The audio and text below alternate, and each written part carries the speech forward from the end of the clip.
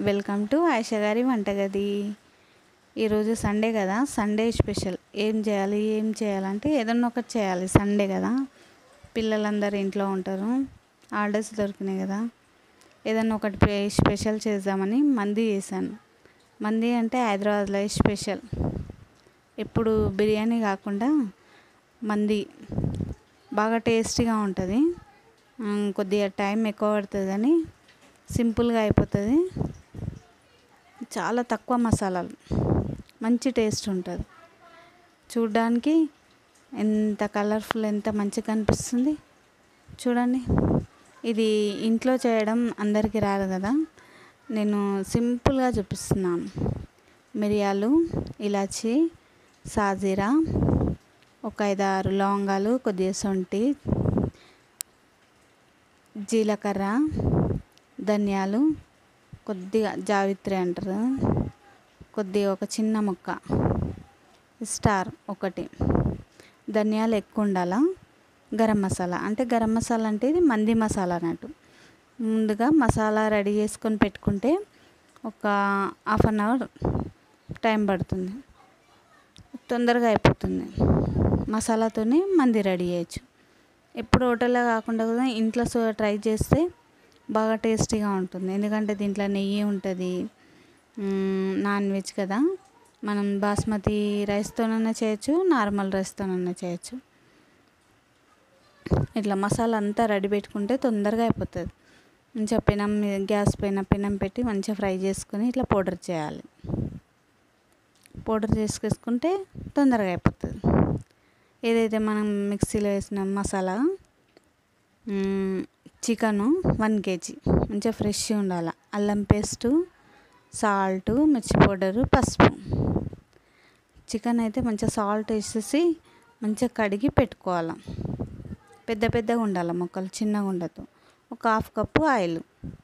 ముందుగా గిన్నె అయినా కడాయి అయినా ఏదైనా కానీ పెద్ద తీసుకున్నాల. ఒక రెండు స్పూన్లు ఏదైతే మనం లవంగాలు ఇలాచీలు అన్నీ గరం మసాలా పట్టినా కదా మిక్సీలో. అదంతా పౌడరు. ఇది మిర్చి పౌడరు అల్లం పేస్ట్. అల్లం పేస్ట్ ఏంటంటే కిలో చికెన్కి రెండు చెంచాలు. రెండు చెంచాలు మిర్చి. మిర్చి పౌడర్ మీకు ఎక్కువ కావాలంటే కొద్దిగా ఎక్కువ వేసుకోవచ్చు. సాల్ట్ అయితే వన్ అండ్ హాఫ్ అయితే సరిపోతుంది. ఒక హాఫ్ స్పూను పసుపు. మంచిగా మంచిగా కలుపుకోవాలి. ఆయిల్ వేసేసి కొంచెం పచ్చిగా ఉంటుంది. ఆయిల్ వేసేసి మంచిగా ముక్కలకు మొత్తం ఆయిల్ మొత్తం పట్టేటట్లు కలుపుకోవాలి. మొక్కలకు మంచిగా పట్టాలి. ఆయిల్ వేస్తేనే మొక్కలకు మంచిగా పడుతుంది. ఆయిల్ లేకుంటే మొక్కలు అనేది ఇట్లా డ్రైగా అవుతుంది మంచిగా పేస్ట్ లాగా చేసేసి మంచిగా పట్టాలి. మంచిగా పట్టేస్తే ఒక నాలుగు ఐదు గంటలు అట్లనే పెట్టేసేయాలి. అయితే మంది మంచిగా రెడీ అవుతుంది.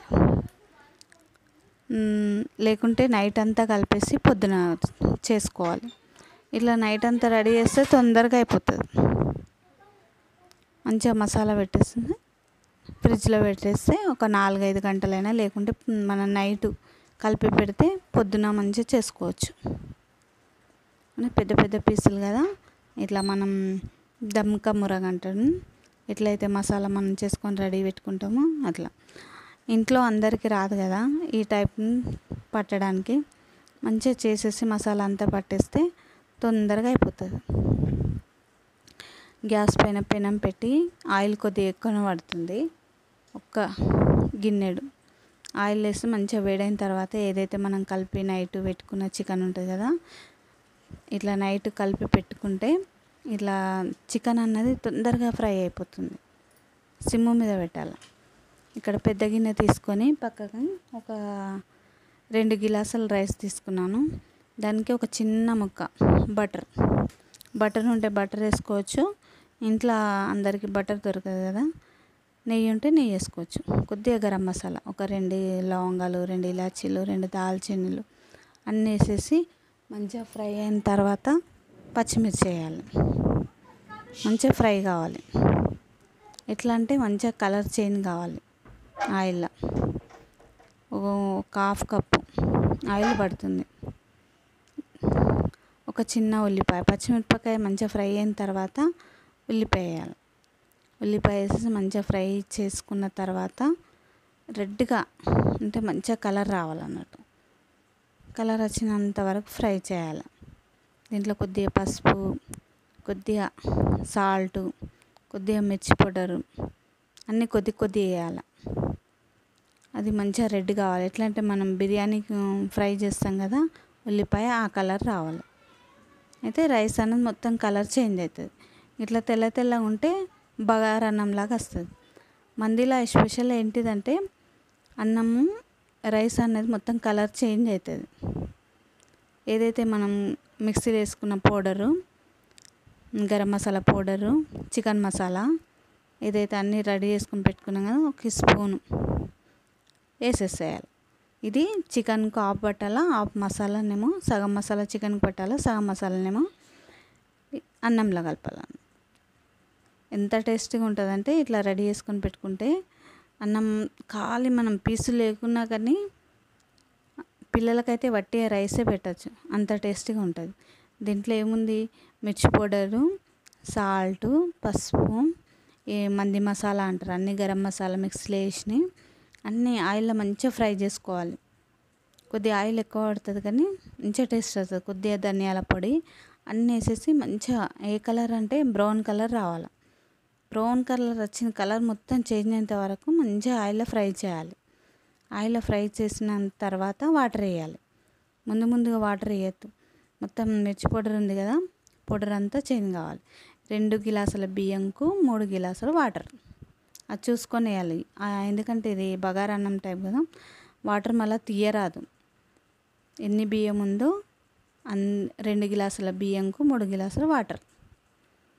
పర్ఫెక్ట్ కుల్ల కుల్ల అవుతుంది అన్నం. మంచిగా పాతది. బాస్మతి అన్న వేయచ్చు. మన ఇంట్లో డైలీ వాడుతున్న ఆ రైస్ అన్న. మన ఇష్టం ఏది ఉంటే అది వేసుకోవచ్చు.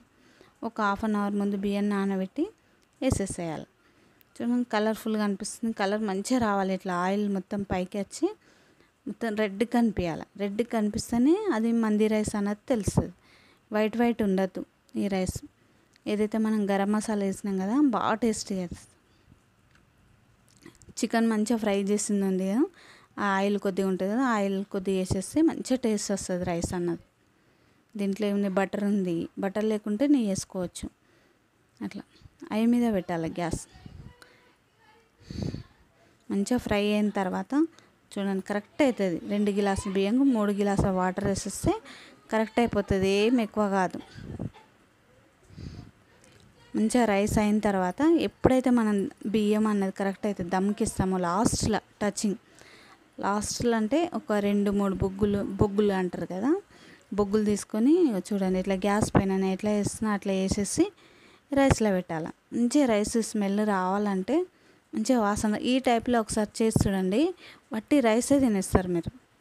ఏదైతే చికెన్ ఫ్రై ఉండదు చికెన్ ఫ్రై రైస్ ఈ బొగ్గులు వేసేసి ఒక ఫైవ్ మినిట్స్ మంచిగా ఎందుకంటే ఆవిరి మొత్తం పట్టాల. ఇది మొత్తం పడితేనే మొత్తం స్మెల్ మంచిగా వస్తుంది. నెయ్యి వేసేసేయాలి కొద్దిగా నెయ్యి. నెయ్యి ఉంటే నెయ్యి ఆయిల్ ఉంటే ఆయిల్ వేసేసి ఒక ఫైవ్ మినిట్స్ దమ్కియాల అంటే దాని మీద ఏదైనా వెయిట్ పెట్టాల. పెడితే మంచిగా రైస్ అనేది కుల్ల కుల్లగా అవుతుంది టేస్ట్ బాగుంటుంది స్మెల్ అయితే సేమ్ బిర్యానీ అంటాం కదా బిర్యానీ కన్నా ఎక్కువ అవుతుంది ఇది. అయితే అందరూ హోటల్లో మంది ఎట్లా ఉంటుంది హోటల్లో తింటారు కదా ఇది ఇంట్లో చేసుకోవచ్చు. చాలా సింపుల్గా అయిపోతుంది బాగా టేస్టీగా ఉంటుంది. కొద్దిగా టైం అయితే పడుతుంది కానీ ఇలా ఒకసారి ట్రై చేయండి. చూడండి కుల్ల కుల్లగా ఉంది రైస్. వేడి మీద అట్లనే ఇట్లా కుల్ల కుల్ల చేసేసి పెద్ద ప్లేట్ తీసుకోవాలి. ఎందుకంటే ఇది మంది కదా ఒక్క ప్లేట్లోనే నలుగురు ముగ్గురు అట్లా తినచ్చు. అంత పడుతుంది. మంది అంటే ఆ టైప్ ఉంటుంది అన్నట్టు. మన ఇంట్లో ఏది పెద్ద ప్లేట్ ఉంటుంది కదా ఆ ప్లేట్లో కుల్ల కుల్ల ఇట్లా రైస్ అంతా చేసేసి కొద్దిగా నెయ్యి ఉంటే నెయ్యి వేసేసి చికెన్ ఫ్రై మనం ఏదైతే ఆయిల్లో వేసినాం కదా చేసి పక్కన పెట్టుకోవాలి. రైస్ మొత్తం అయిన తర్వాత ఇట్లా పైనుంచి పీసులు తీసేసి ఇట్లా దమ్కేసిన కదా పక్కకు పెట్టుకోవాలి. మళ్ళీ రైస్ మొత్తం ఒక ప్లేట్లో తీసిన తర్వాత ఇట్లా పీసులు పెట్టాలి. ఏదైతే ఇంట్లో కొద్దిగా ఎల్లిపాయ ఉల్లిపాయ అంటారు కదా ఉల్లిపాయ. ఉల్లిపాయ మంచిగా బ్రౌన్ కలర్ చేసేసి మంచిగా ఏది జీడిపప్పు బాదం పప్పు ఇంట్లో ఏది ఉన్నా సరే ఇట్లా మంచి ఆయిల్లో ఫ్రై చేసి ఇట్లా డిజైన్ చేయాలి. ప్లేట్ అంతా మంచిగా వేసేస్తే ఎంత మంచిగా కనపడుతుంది? సేమ్ హోటల్ టైప్ లాగానే వస్తుంది. హోటల్ కాకుండా మనకి ఏది ఇష్టమో అది ఇంట్లోనే చేసుకోవచ్చు. కొద్దిగా ఒక రెండు మూడు సార్లు ఇట్లా ట్రై చేయండి. మీకు నాలుగు రెండు రెండు సార్లనే కొద్దిగా కష్టమవుతుంది. మూడు నాలుగు సార్లు అయితే పర్ఫెక్ట్ వస్తుంది. నేను చెప్పిన కొలతలతో చేస్తే సూపర్ టేస్టీ ఉంటుంది. ఒకసారి ఇలా ట్రై చేయండి. ఎలా ఉంది నాకు కామెంట్ పెట్టండి. దాంతో ఏదంటే టమాటా చట్నీ ఇంట్లో ఏ ఏదైనా కర్రీ ఉన్నా కానీ వేసుకోవచ్చు లేకుంటే పెరుగుతోనన్నా చేయొచ్చు. నేనైతే టమాటా చట్నీ చేసిన మయోనీస్ అంటారు. ఇది మందితోనే తింటారు. బాగా టేస్టీగా ఉంటుంది.